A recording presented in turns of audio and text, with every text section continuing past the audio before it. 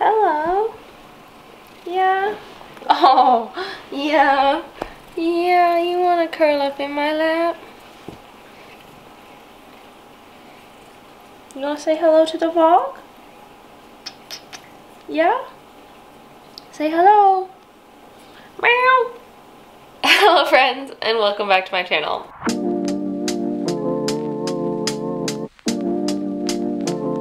My name is Emma and today I felt like making a vlog.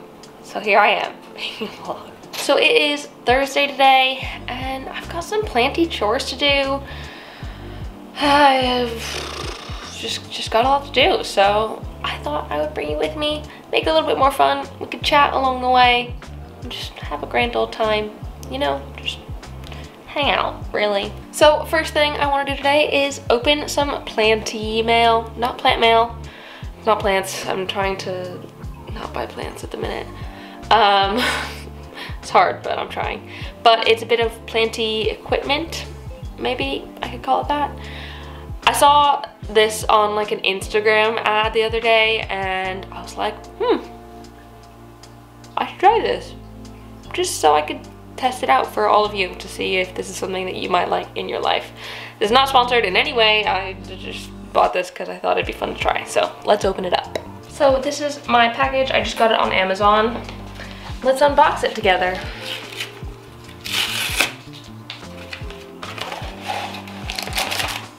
Oh my god, it's so small.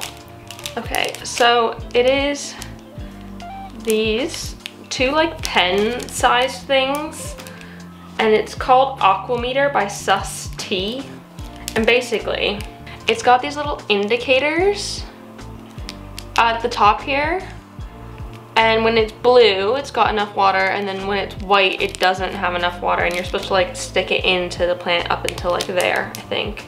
Good for four to seven inch pots or 10 to 18 centimeters. So medium, small stuff, not terribly big. So let's find some plants and see if they've got enough water.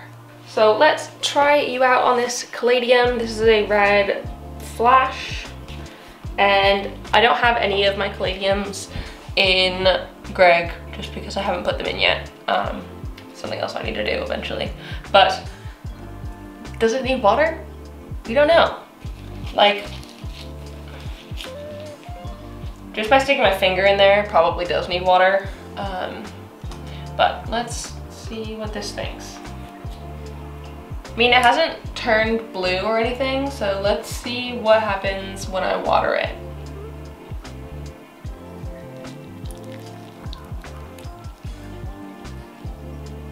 You can see there's like a bit of blue rising where it's wet.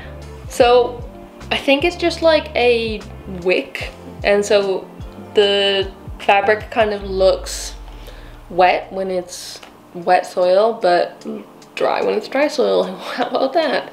So I guess we'll see. I'll test it out for a little while and let you know what I think about them, like down the line. Could be great, could be terrible. If you want to try them out for yourself, I'll link them in the description below. But I have give you no guarantees that they will work how you want them to. We're just trying something out here, but you can definitely see that it's getting blue in there. So it's pretty much entirely blue now.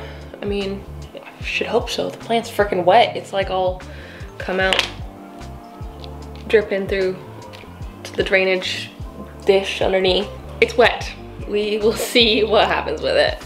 But good to try these things. You never know, it could be the next best thing. Like, I do really like Greg still. Um, I'm, I'm still a big fan of them. And this isn't an ad for Greg or anything either. Um, but, yeah. We'll see what happens. So it is also watering day for me. Exciting. I get my Greg notifications telling me it's time to water all my stuff. Oh, got an update, that's fun. Okay, so I have 50 plants to water. Yeah, it's a lot of plants. So I'm just gonna go around and check them all and see what's up, see how they're doing, you know, just give them a good check. I'm gonna water. Let's watch me water. I'm gonna have some tea first, but let's watch me water. Yes, this is my Joe Face mug. It's my favorite mug ever because it's got Joe's face on it. I think I got it for him for like Christmas or his birthday or something a couple years back. If any of you watched The Office, it's a reference to that. We watched that together, so I thought it was funny. Um, we've also got my face as well, and we want to get one with Cleo's face on it.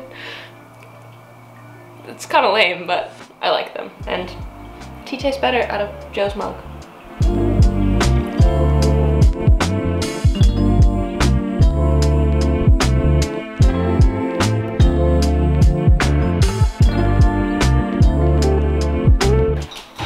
Hello friends.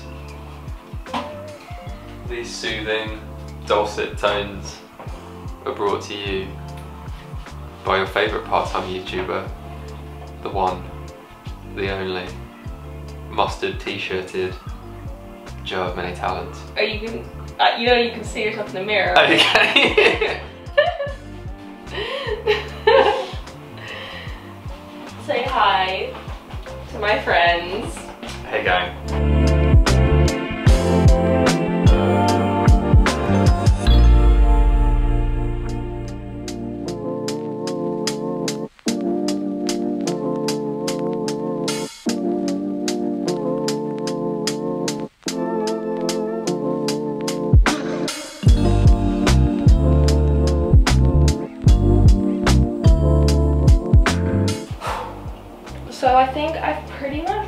Everything in this room at this point. Um, I still have a few things to water in the office and downstairs. But I have a couple things that I want to repot and stuff. So I figured, let's do that. Let's give that a go. Do some repotting and yeah, get the stuff done. So there's a few things that I want to be doing right now. I want to join my two pink princesses into one pot, put in Pon. Second, or maybe first, I don't know what order I'm gonna do this in. I want to repot this Alocasia Black Velvet. I don't think it's very happy in this. I'm gonna put it in Pon. Third, my Monstera uh, Dubia Dubia has outgrown its little moss thing that I did for it and so I need to build another one. Got a plank, so I'm gonna do that, and that is also in Pon. Um, as you could probably tell, I'm a big fan of Pon at the minute. I just feel like it works really well. Like all of the alocasias I've put into Pon have like succeeded very well, so like why wouldn't I just continue putting things in Pon? You know? So I'm just gonna keep putting stuff in Pon. Also, this alocasia, let me get most of the dirt off, but like, it's still got its like plug wrapper around it, and I think it's just quite unhappy about that. There's just so many bulbs. It's like not been focusing at all on its own growth. It's just been focusing on its freaking bulbs. This little mesh thing has got to go. So it has like no roots. Look at that. And like half of it's new bulbs. But I've also got a bunch of bulbs. I've dropped two on the floor as well, so that'll be good. I guess I'll just put those in my little shallow puddle. Let's just take all of these bulbs off. Let, let's let you focus on yourself. You're being so selfless right now focusing on everybody else, but you need to focus on yourself. When was the last time you did something for you? Okay, I'm just gonna give it a quick rinse and we will repot you into Pon. So I've got my strainer, got my Pon, got this little scoop, which is also from Lechuza because Pon just sticks to my hands and I hate it. So I'm gonna scoop some into here so I can drain it. You know how it goes.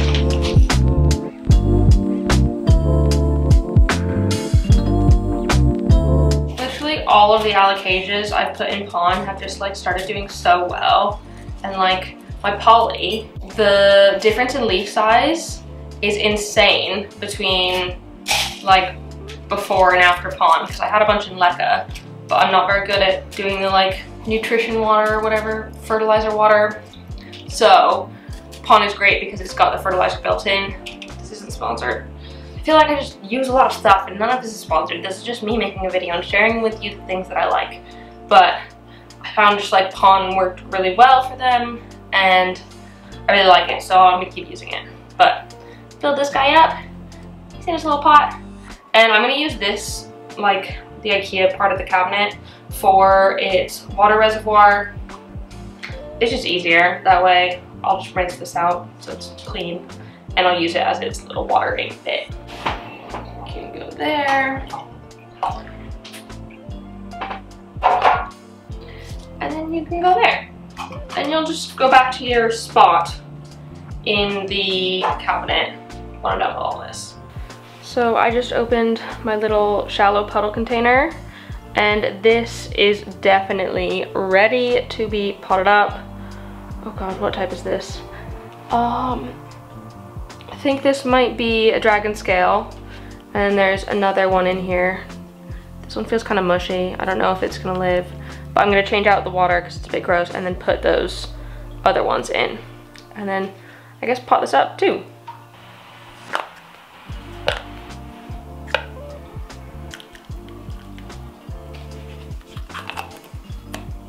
Got a little baby pot here for that. And the holes look a tiny bit big for Pon. And I asked last time or in a different vlog about what people use to like fill the holes. A lot of people said like window mesh, but someone mentioned like this sort of plastic netting that comes like on your onions or like tangerines or whatever. And so I'm just going to cut out a small piece of this stuff because like I had this from onions. So why wouldn't I use it? I literally need just like the smallest bit.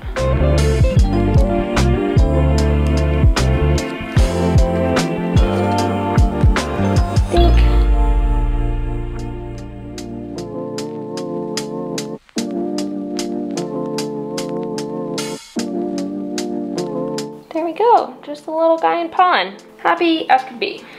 Let's do the pink princesses. You're all clean. Let's do the same with the other one.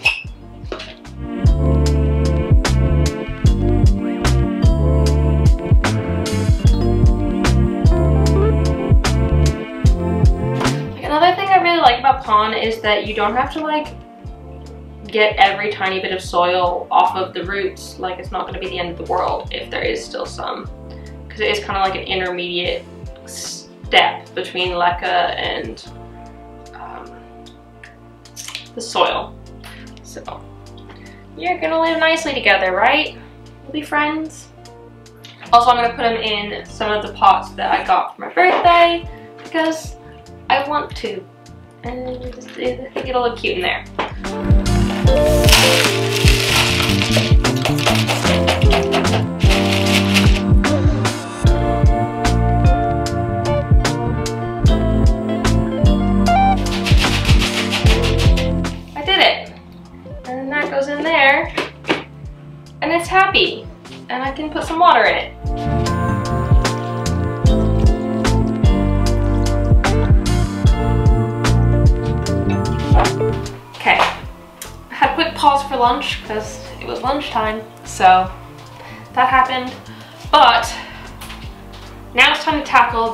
Monstera dubia, dubia, whatever.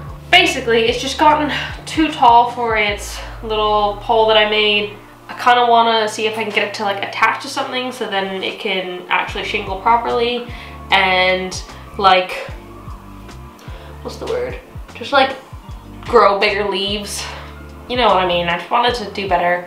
It has done better since being in this little system I made, but grown out of it, I guess. So we're gonna craft something new. I have this piece of wood. It's just a bit of plywood. I am not gonna put sphagnum on it like I did here. I did that to test it out, but it, like the plant doesn't really stick to it at all which like I want it to actually like properly shingle and like grow bigger leaves so I need it to like have more of a surface because it won't stick those to the sphagnum I don't think so we're gonna do something with this and I was thinking like how because I don't want this to be in like the water pool because it's just gonna rot it's like plain wood So I was thinking I could tape one of my Ikea like shelf things because it's like a square so it's got a nice flat edge. I could tape that to the bottom of the plank. I don't want it to be able to like move around too much because it'll be attached, right? So I'm gonna tape that to this. And then I was thinking, okay, like what sort of pot would I put it in or would I just put it straight in Pon in here? Which I could do, but I think, I think I found a better solution. So when I did my window boxes, I had some of these and I realized that like they fit pretty perfectly in this. So I'm going to cut one of these out and use it as its like nursery pot inside of this. So gonna MacGyver this. Let's cut one of these out. Don't try this at home, kids.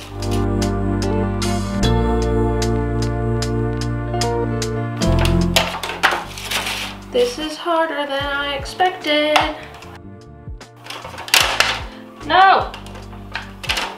Just tore the pot all the way up. Good thing I've got more of these. Scissors are better than the knife. Don't use a knife to cut this.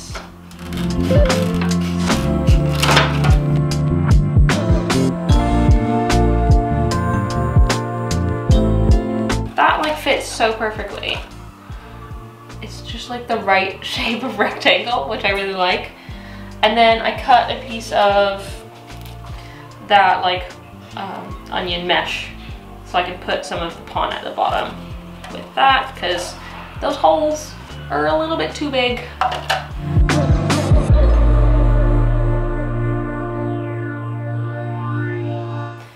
Put a tiny layer of Pon at the bottom. Now I'm going to undo it from its previous situation and I'm gonna reuse like the rest of the Pon that's in here because why not? It's reusable.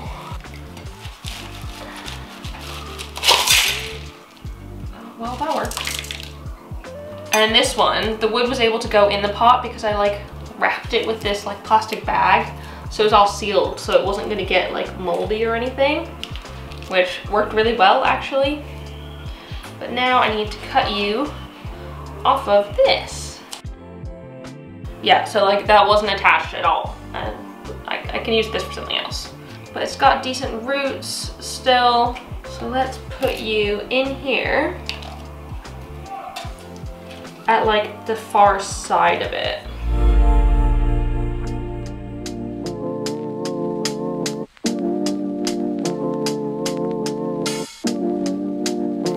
That is nicely in there.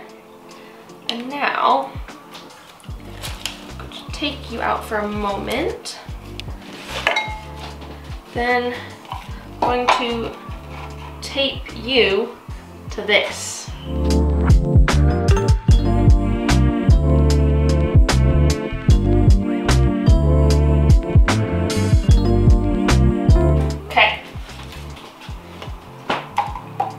Nice and sturdily on here. And then this goes nicely in there. With this, I'm going to like tape it on. So it's like that, because like all of these small leaves, they're not going to shingle. So I'm gonna have to attach them. And so it doesn't really matter how I do that, I don't think. So I've just got like scotch tape, um, sellotape. I'm just going to tape them. Not taping the leaves, obviously, I'm just taping the stems down.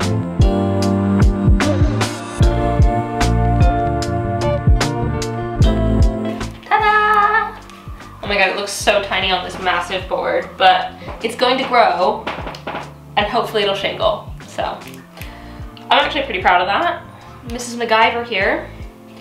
And then all I gotta do is water it. And I'll water it so that the water goes to like halfway in this container, which is about a third of the way from the bottom of the like nursery pot that I've makeshiftly made. So yeah, that's the plan. So I probably should have rinsed the leca a little bit better because obviously it's cloudy and now I've got no way to take it out. But I guess it will be fine for now. It'll be fine. It's not gonna have any problems. I hope. I will let you know if there are any problems that occur, but yeah, it, it seems pretty happy and like the silver in there is really good. And so I hope that really gets it to start shingling property, proper, property, properly. Got property on the mind. But yeah, hopefully it starts shingling well. There we go. Happy with that.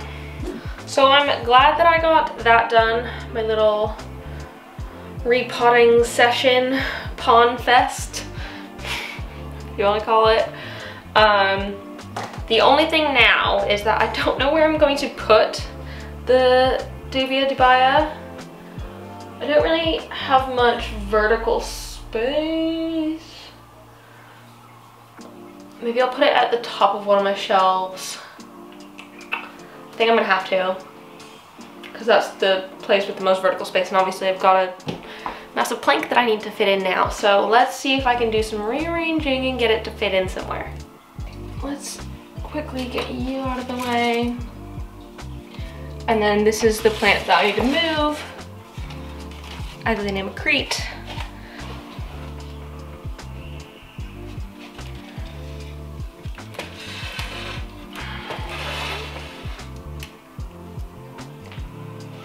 So look how perfectly that fits. It just like slots in that gap there and sits right there.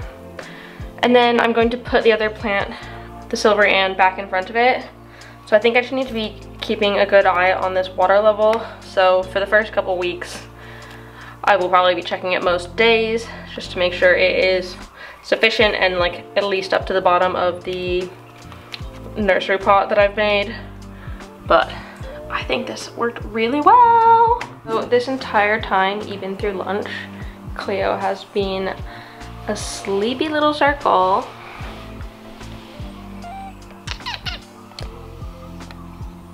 Just doing a bit of sleeping. Oh, sorry to scare you, honey. Big yawn. Big stretch back to bed.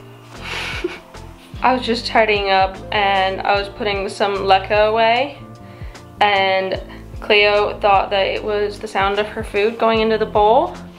And you're hungry, aren't you? You want the food. yeah, you're telling me you want the food. You want that, don't you? Yeah, oh, sweetheart. It's nowhere near your time to get fed yet. You're gonna have to go back to having a nap. Let's show them your spin.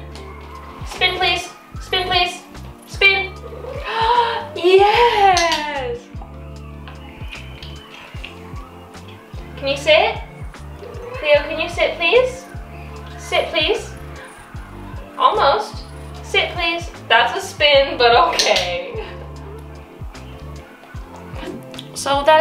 Done so far today. Goodness, I feel like I've been so busy. I did so much.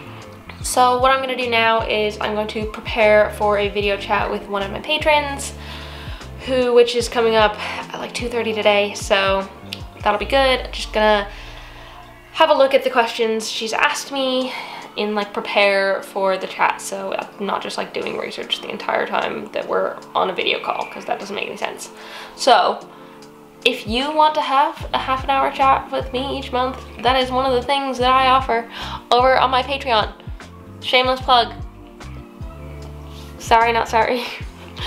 Go have a look at it because it is fun and I do work really hard to like get stuff up there as well. So yeah, I'm just gonna prep for that and then I will come back to you later. So I just finished my call and now I'm going to sit down and do some embroidery. Um, I've got to finish this because I've got to send it to Felicia. But this is what I'm making. I found this on Pinterest and I wanted to make it. So it's just a little kitty cat with sitting in a plant. I think it kind of looks like a syngonium. I know it's not. It's probably more like a caladium, but yeah. But I need to go over and outline the cat again because it's supposed to be Apollo and the plants and yeah, so I'm just going to do that now. And watch some RuPaul's Drag Race while I do it.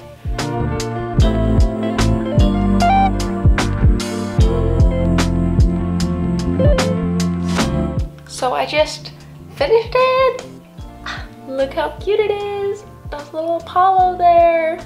But yes, very glad to have it done. I will send it out soon to her with some cat treats for Apollo because I owe her some cat treats. But yeah, so very excited to finish this. I think it's super duper cute. Ah, I'm being attacked. So yeah, that is it. That is it for my daily vlog. I hope you enjoyed it. Did a lot of good, fun, planty stuff, which is always really nice, and I love taking you all with me when I do it. So yeah, if you like this video, please give it a thumbs up down below and comment on other houseplant things you'd like me to talk about in the future, and subscribe for more. Also, check out my Patreon. It's fun for everyone, so yeah.